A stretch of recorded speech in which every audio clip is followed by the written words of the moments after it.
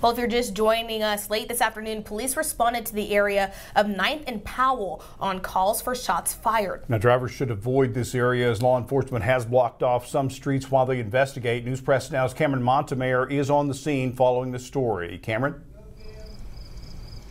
Thank you, Kirsten. Now, law enforcement officials have been on the scene here on Powell Street for roughly two hours.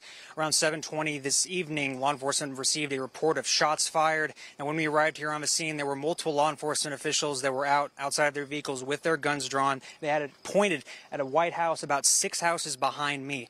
Now, uh, Police Chief Paul Luster did provide us with a brief update when he came out here earlier, but thus far We've seen at least four or five individuals come out of the home with their hands raised.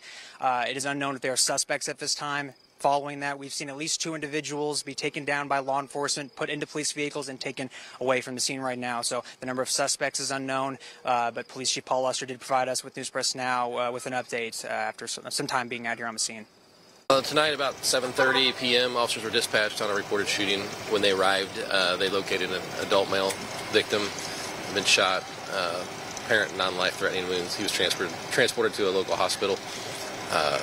Information was developed on possible suspect, and that's what's currently under investigation at this time. Well, obviously, we're dealing with potential uh, shooting suspects, so we're going to uh, take all the precautions necessary to resolve this uh, safely.